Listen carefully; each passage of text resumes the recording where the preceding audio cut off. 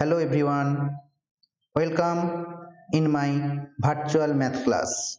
This class is for class 7 and today topic is chapter 14 in West Bengal Board of Secondary Education Maths book.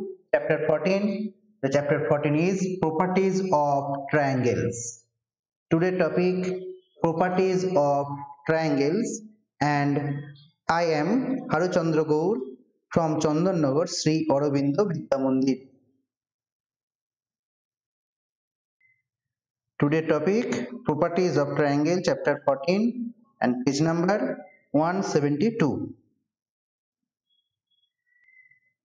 At first define what is triangle. What is triangle? A closed geometrical figure everybody known? A closed geometrical figure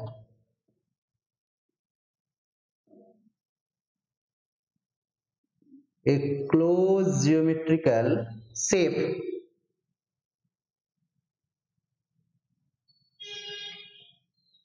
Bounded by three line segments.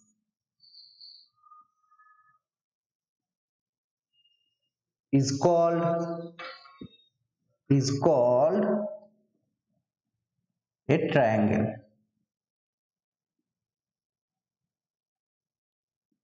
As for example a closed geometrical figure bounded by three line segments. This is one line segment another line segment and another line segment. This is the closed geometrical figure bounded by three line segments. Here AB C. AB is a line segment BC is line segment and AC is line segment. This closed geometrical figure bounded by AB BC and AC this is the called triangle. Here ABC is a triangle from this triangle, we see that the point A, B, C, the point of intersection of two line segments is called vertices. So point A is called vertex, B is called vertex and C is called vertex. So in a triangle, there are three vertices. A, B, C, A, B, C, three points are vertex in a triangle in a triangle there are there are three vertices.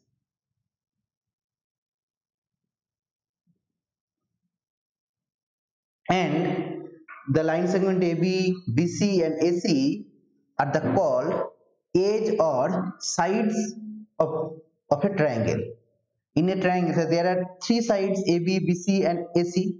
In a triangle, in a triangle, there are three sides three sides. In a triangle there are three sides. Now the triangle according to sides maybe three sides are different. Maybe three sides are equal. If if th here three sides if three sides are equal then the triangle is called an equilateral triangle. Now we draw equilateral triangle length of three sides equal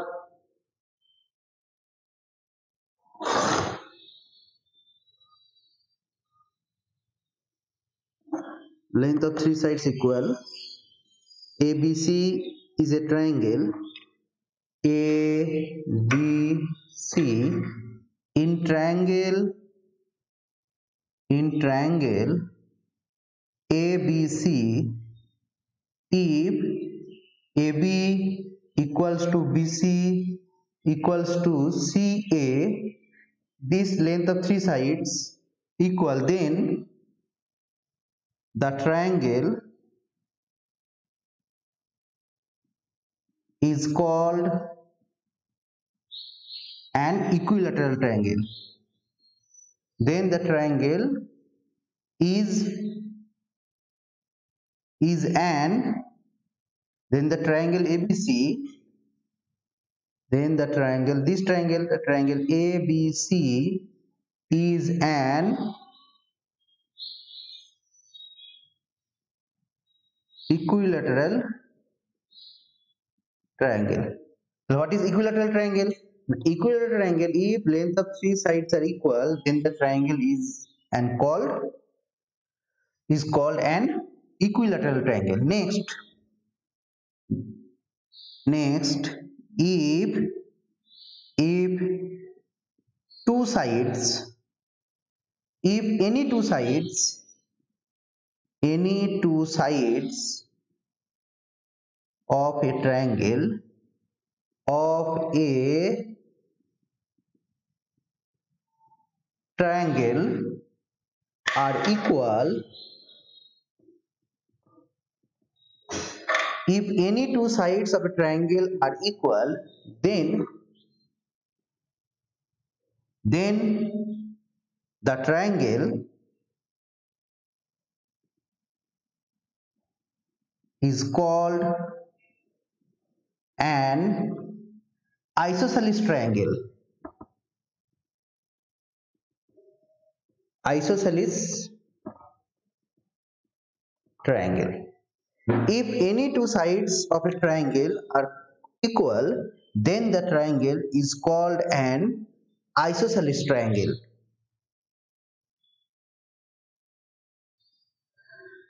Next we draw an isosceles triangle triangle ABC if AB equals to AC two sides equal AB and AC AB and AC equal AC is a base. A B C is a tri triangle and side AB equal to side AC in triangle ABC in triangle in triangle ABC if any two sides maybe AB equals to BC here AB equals to AC if this side equal to this side or this side equal to this side or this side equal to this side now we draw this side equal to this side that is AB equals to AC if AB equal to AC then the triangle then the triangle ABC is called an isosceles. Isosceles triangle if three sides are equal, then the triangle is an equilateral triangle. If any two sides are equal, then the triangle is an isosceles triangle. Here the triangle is an isosceles triangle. Next, if if three sides are not equal, if if three sides of a triangle of a triangle are unequal then the triangle is called is called scalene triangle. Scalene triangle. If three sides of a triangle are unequal then the triangle is called scalene triangle. Now we draw a figure of scalene triangle.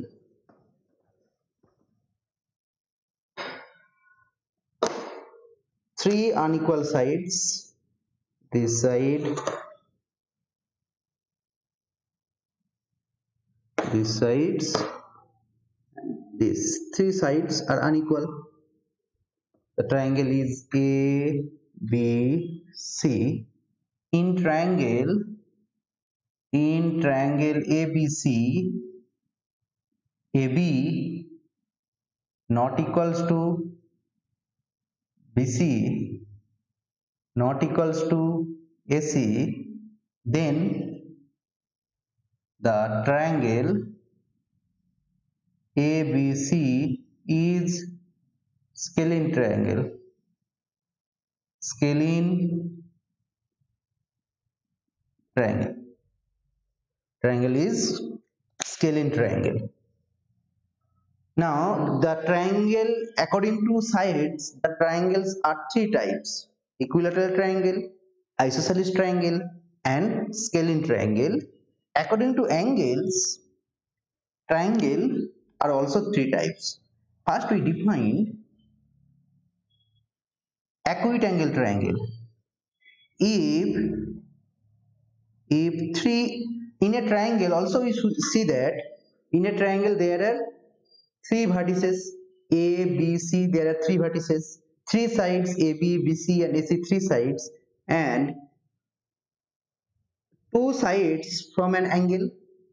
So is this so we see that from the figure of triangle in a triangle there are three angles right? In a triangle in a triangle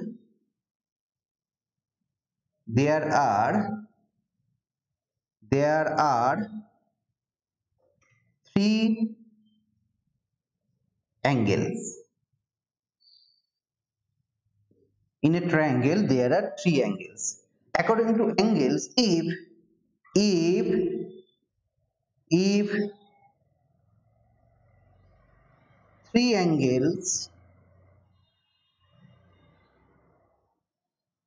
three angles all are all are acute acute that is value of value of all angles between 0 degree to 90 degree then then the triangle is called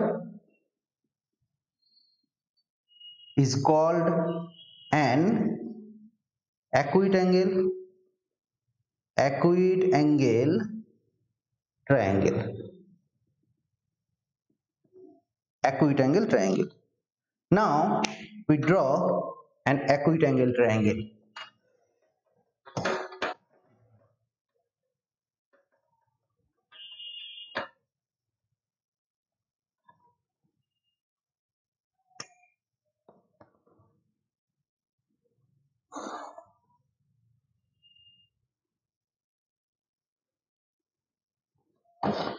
All angles are 0 degree to 90 degree a, B, C. In triangle, in triangle A, B, C, angle A, angle B, angle C are lies between 0 degree to 90 degree then the triangle ABC is an acute angle triangle acute angle triangle. Next we define obtuse angle triangle.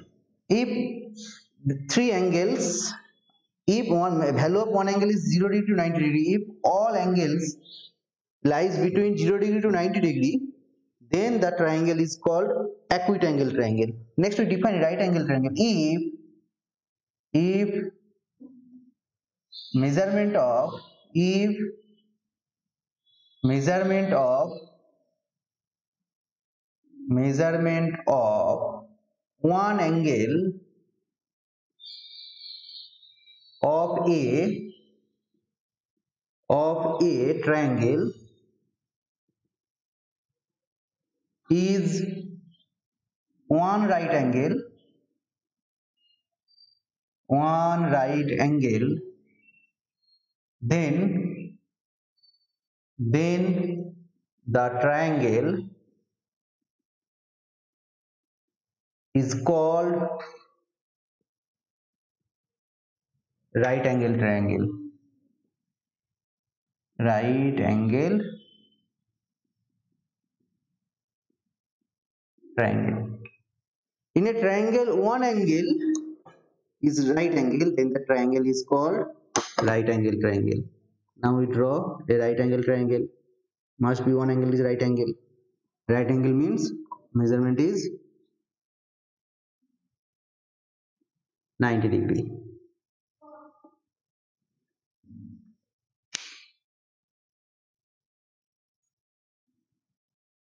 In the triangle ABC in triangle ABC angle B equals to one right angle one right angle then the triangle triangle ABC is called right angle triangle. In the right angle triangle, there is a one property. In right angle triangle, the opposite sides to the right angle is called hypotenuse. Now we write the properties of right angle triangle. Properties now the chapter is property properties of triangles now properties of right angle triangle. Right angle triangle.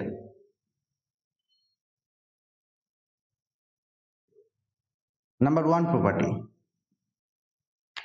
The opposite sides to the right angle opposite side to the right angle opposite side the right angle is called is called hypotenuse.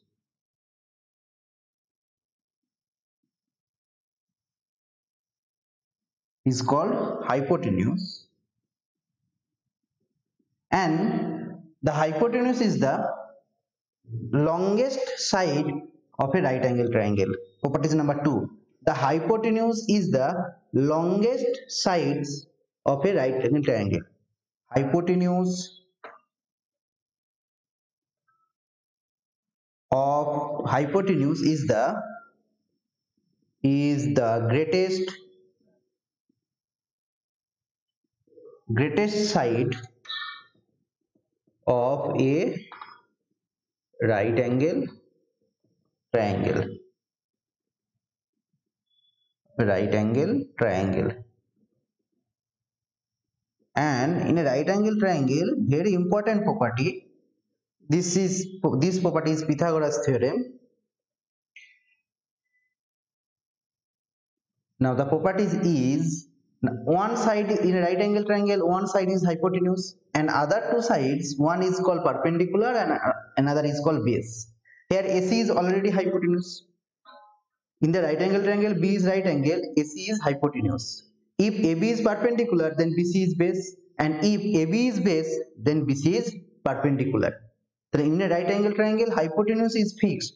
And base are perpendicular are changed. If one side is perpendicular then other side is base. In a right angle triangle very important property hypotenuse square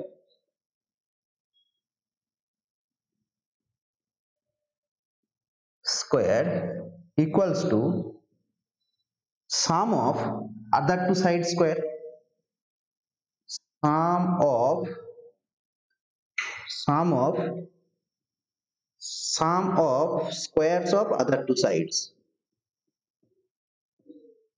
Sum of squares of other two sides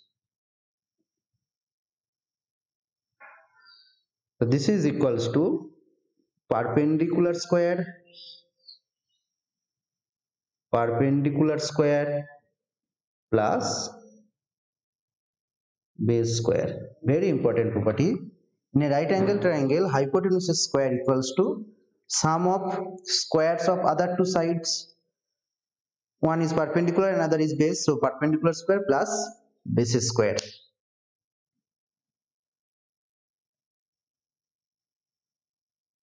next obtuse angle triangle. If if measurement of measurement of one angle not all angle of one angle is is greater than 90 degree but less than 180 degree is greater than is obtuse. That is that is greater than 90 degree greater than 90 degree but less than 180 degree then the triangle then the triangle is called obtuse angle triangle. The triangle is called obtuse angle triangle. One angle must be one angle is obtuse. Now the angle b is this is a triangle.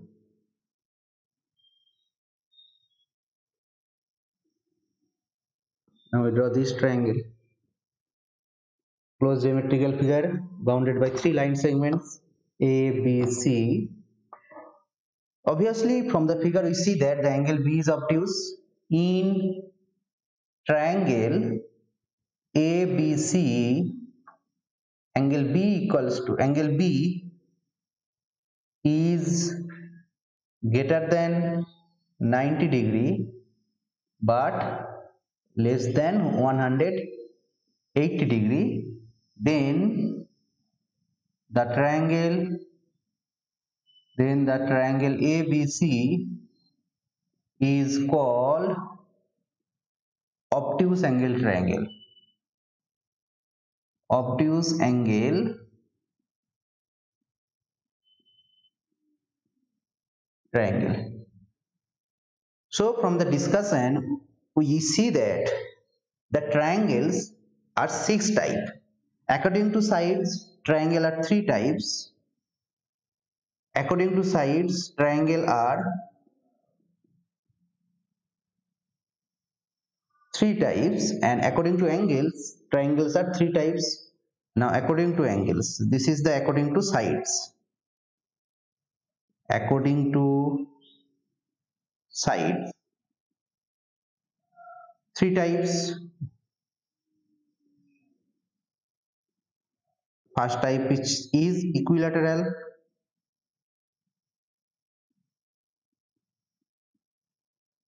second is isosceles isosceles and third is scalene. And according to angles according to angles this is according to angles according to angles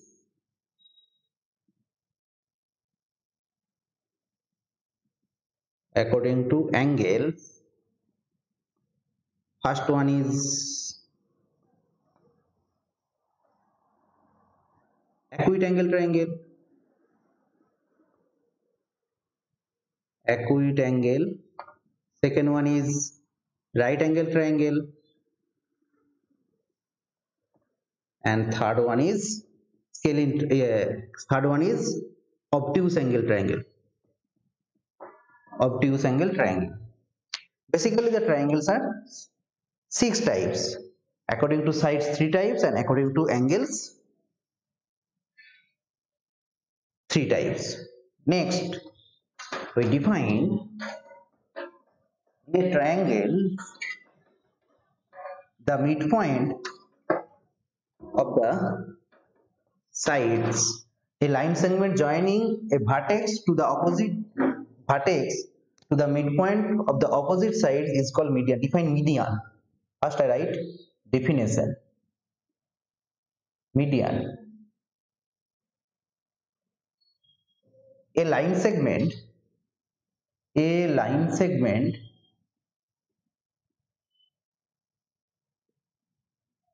joining joining joining any vertex any vertex to to midpoint of to midpoint of opposite sides of it. Opposite side a line segment joining any vertex to midpoint of opposite side to the vertex to the vertex is called is called median is called a median. Next we repeat the definition. A line segment joining any vertex to midpoint of opposite side to the vertex is called a median. The median is a line segment joining a line segment joining two points one point is vertex and another point is midpoint. Whose midpoint? Now the midpoint is the opposite sides of the vertex is midpoint. Now we draw a triangle abc triangle abc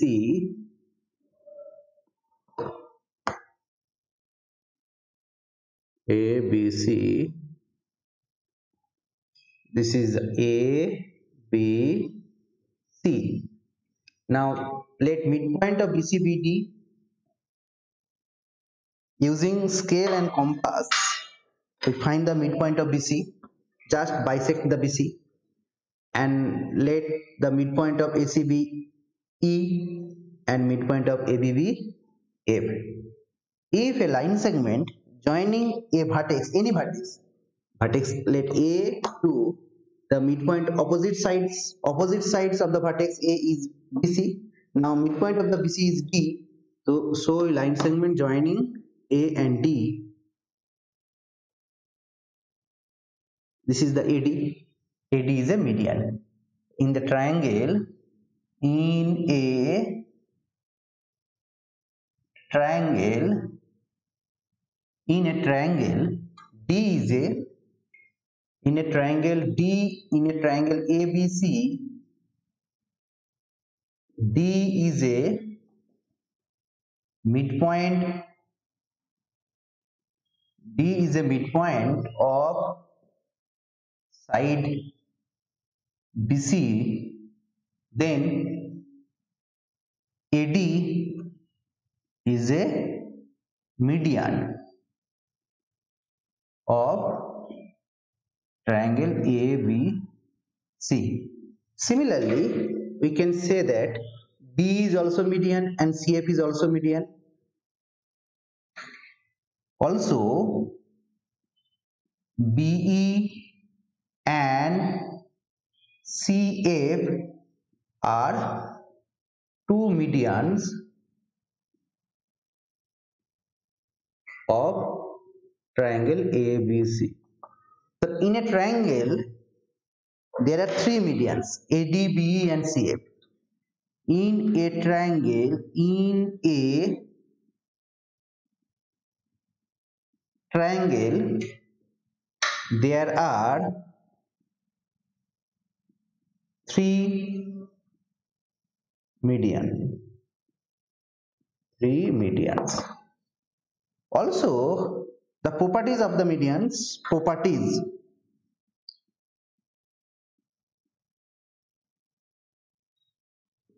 Three medians are concurrent.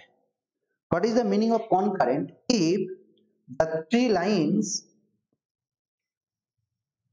passing through a common point three or more lines passing through a common point then the lines are called concurrent again we repeat the definition concurrent. Two lines always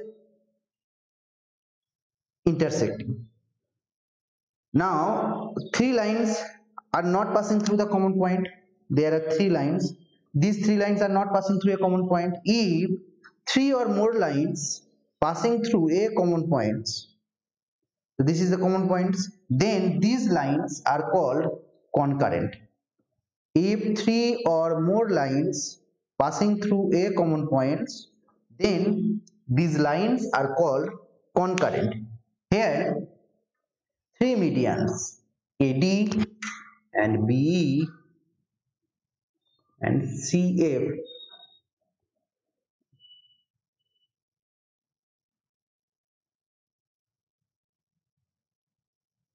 CF three medians AD, BE and CF are concurrent. Properties number one. Three medians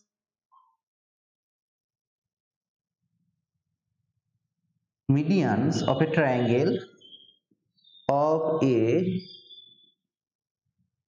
triangle are concurrent are concurrent properties number two this and and and the point of and the point of and the concurrent point concurrent point is called the concurrent point is called centroid the concurrent point is called centroid of the triangle. Properties number two of medians. All medians are inside the triangle. All medians are inside are inside the triangle. Inside the triangle. Number 3 a median divide a median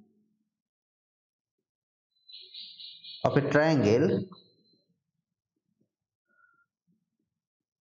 divide